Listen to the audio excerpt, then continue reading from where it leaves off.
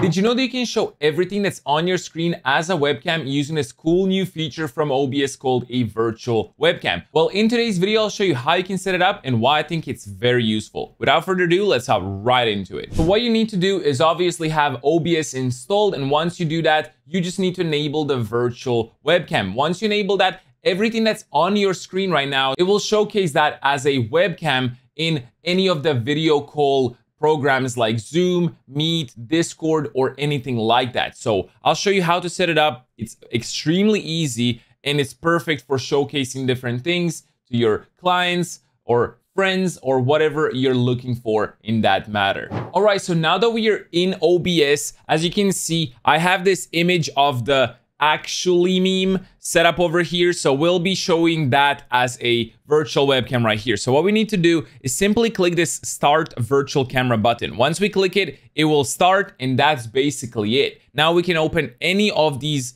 programs that we use for calls. For example, Discord, we open up Discord, we go to user settings over here on the bottom left, we go to voice and video, and if we scroll down, you'll see the video settings right here. And you can see your camera. So we don't want to use our webcam, the normal webcam that we have. We want to use an OBS, virtual camera right here. And if we click test video, you can actually see this, you know, it's not going to show this because it's already used by OBS. But if I choose OBS virtual camera, it will showcase whatever is on OBS. So for example, if I turn this off and I put my actual webcam, it, you can see that my webcam is right here. As you can see, the webcam might be flipped, so it might be mirrored, Keep in mind that's only for you, but the other people see you normally uh, without this weird, you know, flip, whatever. So you will be fine. As you can see, the picture shows right there. And now if we join a call and we turn on our webcam, it will showcase that picture or whatever else we have set up in OBS as a virtual camera. One more reason why I think this is very useful is if you have LUTs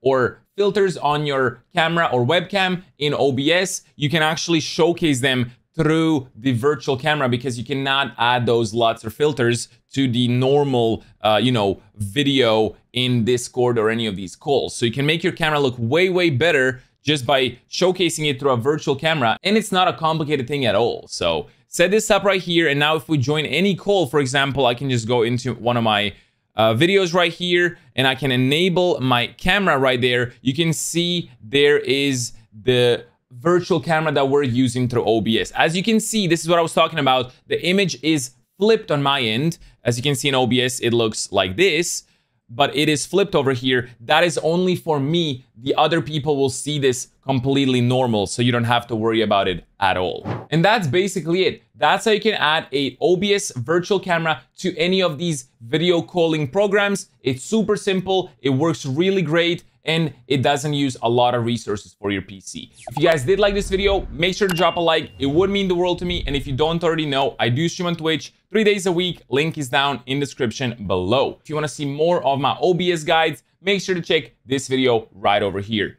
Anyway, I'll see you in the next video. Peace out and have a good one. Bye-bye.